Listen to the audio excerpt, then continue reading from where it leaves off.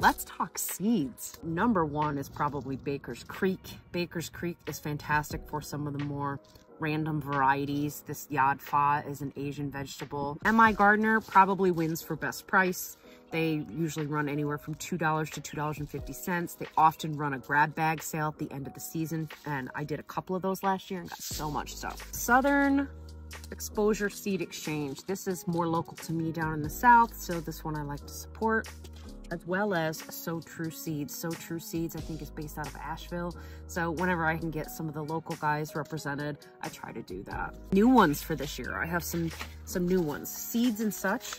I found this because I was looking for one specific seed, my candy cane red pepper. These are a hybrid. There's nothing wrong with hybrids. They're not GMO. It's not the same thing. Another new one I stumbled across is the Alliance of Native Seed Keepers. Low production as far as the, the packets go, but what I really like is that this supports indigenous people. So I've purchased a couple of seeds from them, nice thick packages of these beans to try.